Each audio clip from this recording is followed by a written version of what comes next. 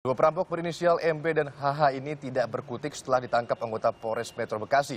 Mereka baru saja menggasak rumah anggota DPR Partai Amanat Nasional Daeng Muhammad di Perum Mekar Indah Cikarang, Kabupaten Bekasi, Jawa Barat. Kedua perampok berpura-pura dari ormas tertentu dan menumpang sembahyang di rumah korban.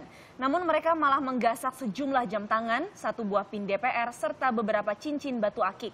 Kerugian ditaksir mencapai jutaan rupiah. Pelaku terancam hukuman masing-masing 4 dan 5 tahun kurungan penjara.